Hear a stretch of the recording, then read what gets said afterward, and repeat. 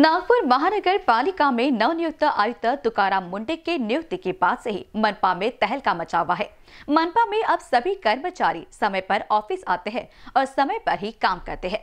क्योंकि नए आयुक्त अपने अनुशासन और नियम पर चलने वाले अधिकारी है, मगर गुरुवार को मनपा हाउस में कुछ अलग ही नज़ारा दिखाई दिया। सभागृह में नगर सेवकों के सवालों के जवाब देने का समय आया तो आयुक्त साहब बैठकर ही बात करने लगे। तभी भाजपा के नगर सेवक दयाशंकर तिवारी ने महापौर से अनुरोध किया कि आयुक्त साहब के सभागृह के नियमों की जानकारी है। उसके बाद आयुक्त तुकाराम मुंडे ने खड़े होकर सवालों के जवाब दिए।